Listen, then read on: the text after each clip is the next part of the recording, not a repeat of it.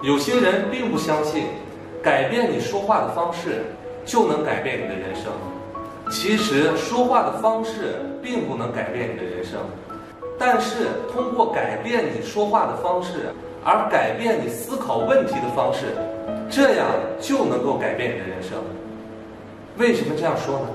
我们举一个简单的例子，比如说我们上街看到一个年轻的人，他开了一辆特别贵的车，这个时候呢，一些人就会说：“你看这个车真好看。”这个人真有钱啊！很多人并不觉得这句话有什么问题，但是我们换一种语法来说呢，这个车真好啊！我怎么样才能拥有这样的车呢？这个人真有钱呀！我如何奋斗才能像他一样有钱呢？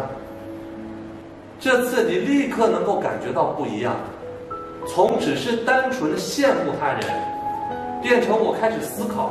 我究竟如何做，才能够变得和他一样有钱呢？通过改变说话的方式，从而改变你思考的方式。一旦你的思维被打开了，没有什么事情是你做不到。有很多成功的人都愿意看一本书，这本书的名字叫做《思考与致富》，里面有一个故事我印象深刻。这个故事讲的是一个牧师。他一直有一个梦想，开一所完全用自己理念去教育学生的大学。这个梦想呢，他有了很久了，但是他从来没有想过如何具体的去实现它。直到有一天，他发现他不应该再这样下去了，他要改变他的思维方式。他开始拿起笔，在纸上写出来：我如何才能开一所大学？当他写完这个标题之后呢，他觉得不够，他紧接着又写：“我要在两个星期之内筹到一百万美金来开这所大学。”写到这他就停止了，但是在之后的几天时间里，这个念头一直在他的脑海里。随着时间一天一天的过去，但是他并没有筹到这一百万美金啊！眼看着两个星期的时间马上就要到了。他也很着急，所以他就在报纸上刊登了一条信息，他要发表一个演讲，关于他教育理念的演讲。他希望城市里面所有有跟他一样理想的人都去听他的演讲。他演讲的当天，果然来了不少的人。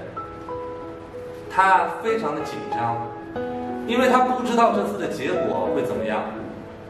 但是当他开始讲到他的教育理念的时候，他的紧张完全被放下，因为开锁按照他的教育方式来运营的大学一直是他的梦想，所以他讲的很激动，也很完美。当他讲完的时候，台下有很多人鼓掌。也就在那个时候，有一个男的走到他的身边，告诉他。你明天可以来一趟我的办公室，我愿意给你一百万美金，帮助你去开这所大学。他很激动。第二天他去办公室找到这个人，果然拿到了这一百万美金的支票。他的梦想实现了，他也非常惊讶，他的梦想是如何实现的？我有这个梦想已经有这么长时间，多少年的时间都没有实现。为什么在我决定两个星期之内筹到一百万美金的时候，他就实现了呢？你们知道为什么吗？因为他改变了他的思考方式，他给他自己定了一个目标，他把原来的那句话“我有一个开大学的梦想”，改变为“我应该如何筹到钱去开这个大学”，再具体下来。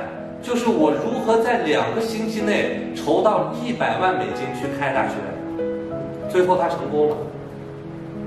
所以这个故事也告诉我们，我们要改变我们说话的方式，从而改变我们思维的方式，最终改变我们的人生。